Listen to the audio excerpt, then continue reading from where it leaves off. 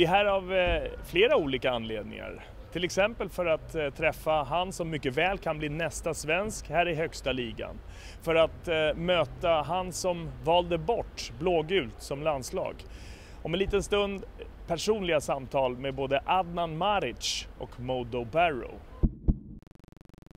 Det här programmet behandlar också ert situation som unga utomlands, eh, dubbla medborgarskap, landslagsdiskussionerna, den kontakten med förbundet i Solna och så här. Var, varför blev det Gambia och inte Sverige, Modo?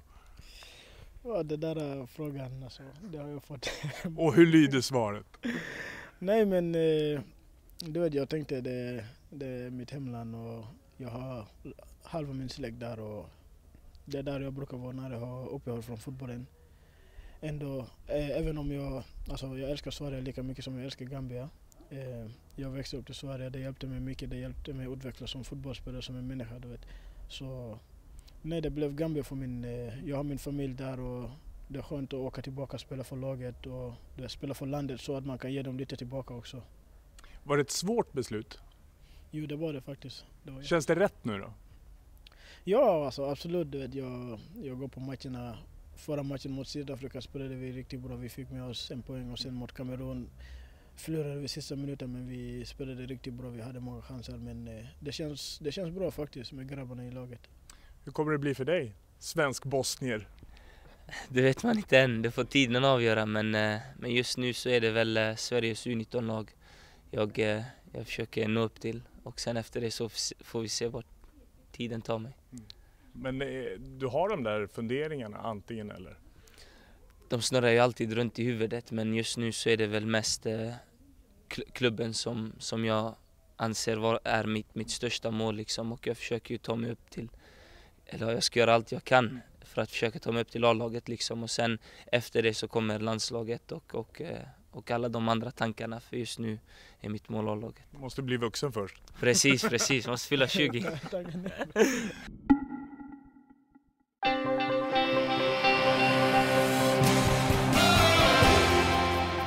kvällsmatch mellan Swansea och Stoke. Hemmalaget Swansea inledde ju fantastiskt bra, spelade bland annat eh, oavgjort mot Chelsea och eh, vann hemma mot Man United, men har gått lite sämre efter det. Jag såg dem senast mot eh, Tottenham och det var en match där Tottenham var det bättre laget men Swansea var för den delen skull inte ofarliga och matchen slutade då ganska rättvist med 2-2.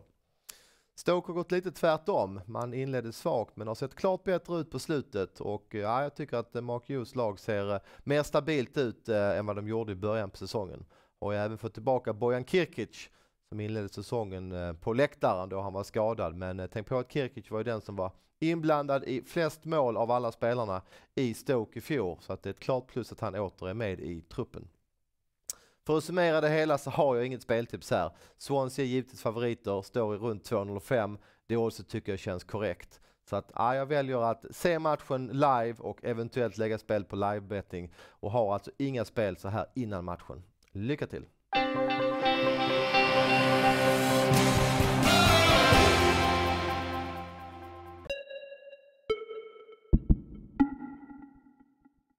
Som ung spelare så är det en, en, en tuff upplevelse liksom, men man får bara jobba på. Vad är det som känns tufft? Är det, är det fotbollsmiljön eller vid sidan av, mellan träningar och matcher? I början är det väl uh, fotbollsmiljön, du vet du kommer in, ny trupp, nya grabbar, uh, ny konkurrens framförallt.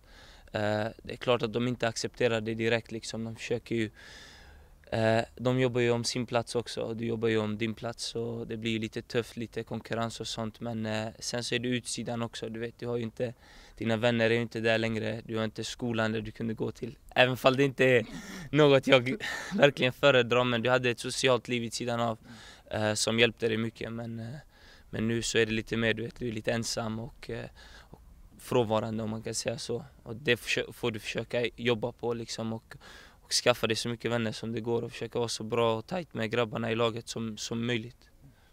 Hur pass mycket är du i eh, A-truppen?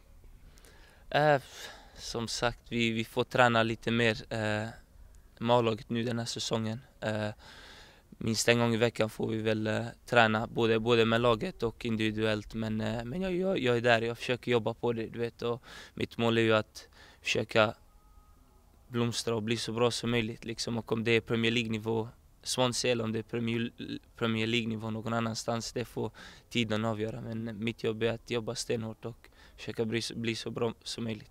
När är han inne i Premier League? Han har det. Ja, vi får hoppas, Imorgon, vi får hoppas snart. Vet, han, han jobbar på bra faktiskt. Han gör alltid bra när han kommer till oss och tränarna gillar honom riktigt mycket faktiskt. Eh, Den andra alltså, assisterande tränaren Pep, han var tränare för Malmö tror jag. Just det, Pep Klotet. Mm.